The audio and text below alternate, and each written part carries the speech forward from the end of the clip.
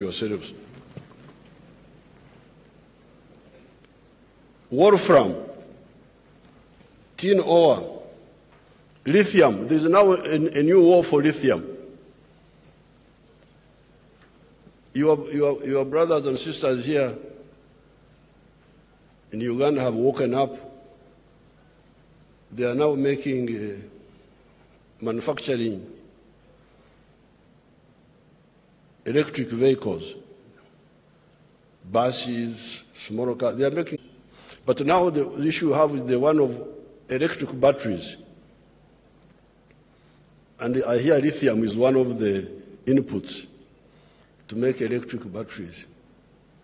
So we have got lithium here. I said, no, no lithium will be exported. You make the electric batteries here if you are my friend and export those. Why do you want to export low value and you, you get more value?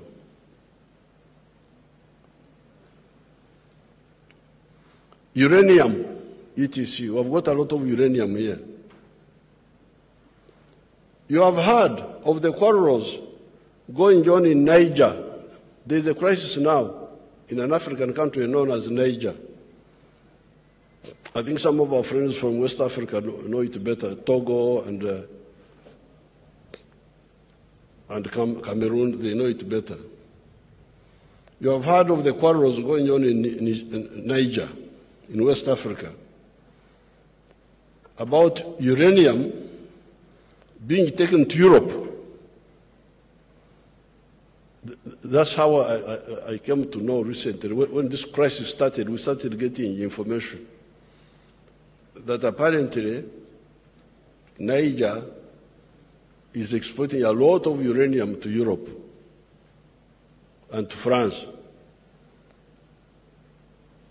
for them to, to use in their nuclear uh, power stations to generate electricity for themselves. So this morning I took interest. I said, by the way, what is the electricity supply in Niger?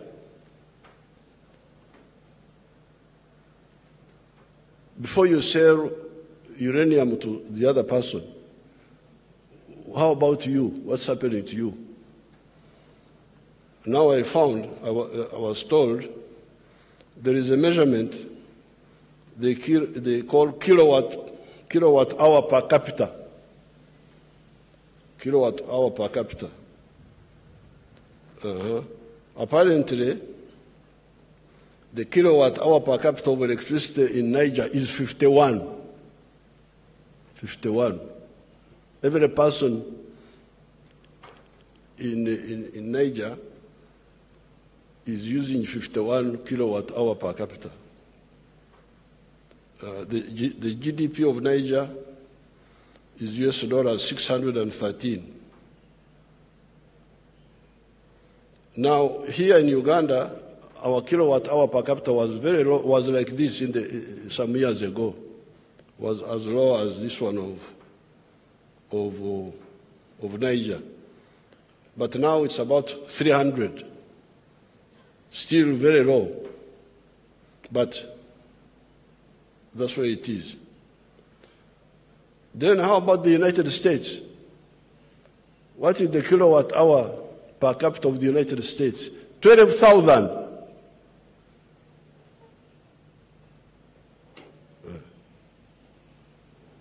12,000. And there is a country called Iceland.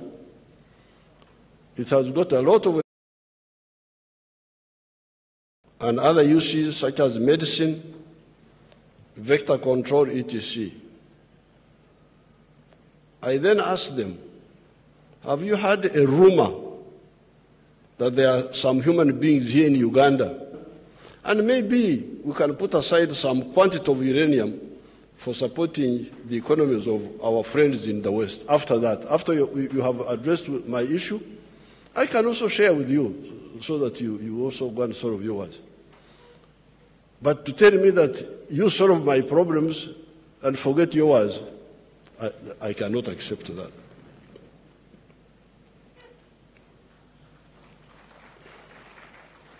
They never came back. They never came back. So the uranium of Uganda is sleeping in, in the ground until we are ready to use it. We have now agreed with the Russians and the Koreans to build two nuclear power stations for electricity of 15,600 megawatts total. Imagine, just two stations will produce 15,000 megawatts. One, 7,200 megawatts, the other one, 8,400 megawatts. Our biggest dam on the Nile is the Karuma with 640 megawatts. The, the hydro, the hydro. The biggest opposition of our plan of building an integrated national economy has been mainly internal from some elements of the political and bureaucratic classes who perform the role of comprador bourgeoisie, agents of foreign interests Mao Zedong talked about in China. Unlike the national bourgeoisie, who build our economy, the comprador bourgeoisie, raw material exporters, importers of foreign products that can be made here, commission agents, bleed our economy. The national bourgeoisie, who are manufacturers, hotel owners, tourism operators, professional service providers such as doctors who treat people here instead of patients going out for treatment, internal distributors of our products such as food, build our economy. There are businesses which build our economy, which infuse blood into our economy. There are those businesses which drain blood from our, our, our system for the benefit of the outsiders. And these are the ones Mao Zedong called the comprador. Comprador is a French word meaning agent, agent of. Therefore, we, the raw materials producers, need to conduct internal struggles in our respective countries to add value to these raw, uh, raw materials, including coffee, so that we earn more from our sweat and create more jobs for our youth instead of dying in the Mediterranean, Mediterranean going to, to Europe.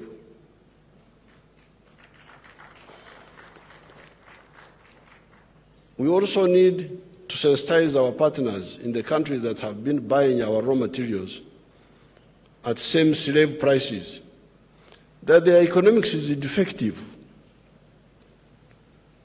What will the USA or Europe or Asia lose if Africa sells added value coffee to them instead of the raw materials of the raw material form and earn more money? What if the value addition is done to other raw materials like copper, gold, iron ore, lithium, etc? Money to Africa will mean higher purchasing power for Africa.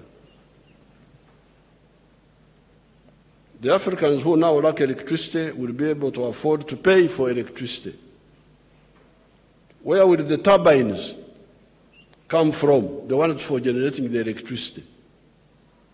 Will they not come from Europe, USA, Russia, China, or from other partners? So, what we are proposing by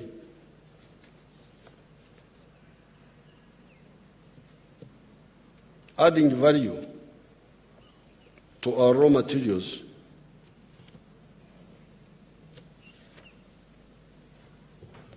Will mean putting more purchasing power in the hands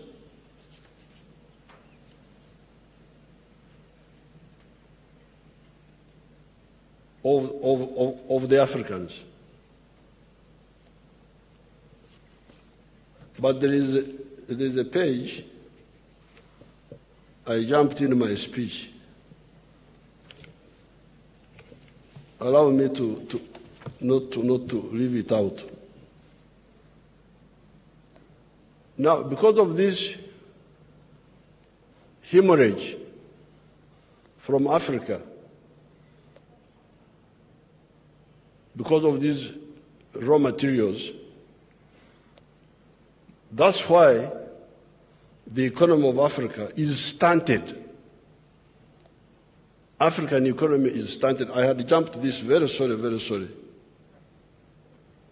That's why the economy of Africa is stunted. Somebody from stunted growth is somebody who can't grow. The GDP of the whole massive African continent, with a population now of about 1.5 billion people, is US dollars 2.7 trillion. What are the GDP sizes